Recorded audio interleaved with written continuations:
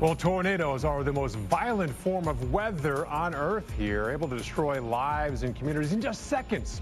But many twisters could actually be even more powerful than we think. Researchers have found that 20 to 25 percent of all tornadoes reach EF4 or EF5 strength, a number much higher than recently thought. And it is uh, really sort of re tooling our notions of the EF scale ratings. So why do so many tornadoes get kind of a lower rating than they should?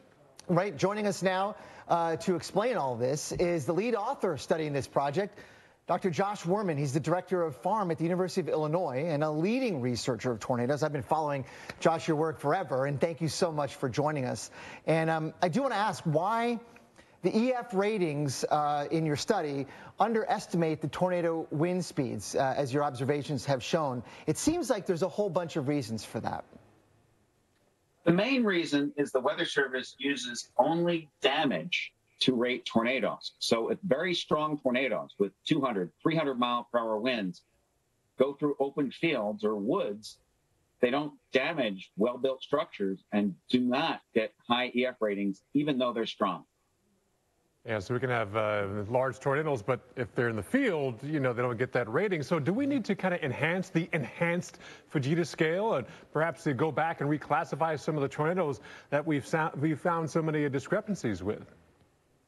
Yes, absolutely. A group of us, wind engineers, structural engineers, radar meteorologists, uh, horticulturalists, are working in a team right now to come up with an updated method for estimating tornado wind speeds that use radars, tree fall, structural damage like the EF scale, but all the information that we have now scientifically and from an engineering perspective to better rate tornadoes in the future. So a lot of, uh, I guess, assumptions have been made in the past between size and intensity, not necessarily from the researchers, but from, I know storm chasers in the field. It's common to, to look at a tornado and say, wow, it's really big. It must be really strong. But it sounds like that what you found from your observations going back over uh, decades here with hundreds of tornadoes, you found something different. Can you explain? So the Doppler on wheels have measured hundreds of tornadoes, and we get direct quantitative measurements of exactly how strong they are, exactly how big they are. And sometimes it's very different than what they may appear visually. What we found that there's no real correlation, no dependence between a tornado's size and its intensity. There are big, weak tornadoes. There are strong, small tornadoes. There's all variety of different tornadoes. You can't just tell the intensity from its size. Wow, that's, that's pretty fascinating. So now, if we knew there was a much higher number or a higher chance for EF4 or EF5 tornadoes, now, why is that important and what can we do better to perhaps protect ourselves when we have the threat for tornadoes?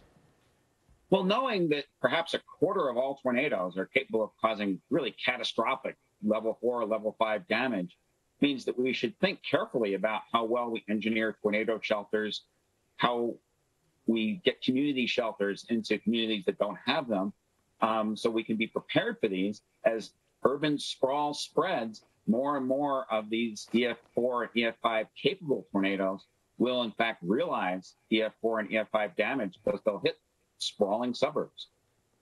So is uh, part of the reason why, going back to some of the earlier questions we had, um, some of the reason why maybe uh, we're not seeing the relationship between the wind speed and the damage is that perhaps the high-end velocities that you found in these tornadoes last for such a very short time, and that a slower wind for acting on a on a in a structure for a longer period of time could do just as much damage. Is that part of the factoring here? Both of those are probably factors. When a tornado has two or 300 mile an hour winds, it may only have it for a few minutes and it doesn't hit a structure and it's weaker by the time it gets to a structure. Um, we also don't have a great understanding of the difference between the effective duration. Um, so, what's worse for a mm. house, 150 miles an hour for a minute or 200 miles an hour for a few seconds? Both are really bad, but they do different kinds of damage.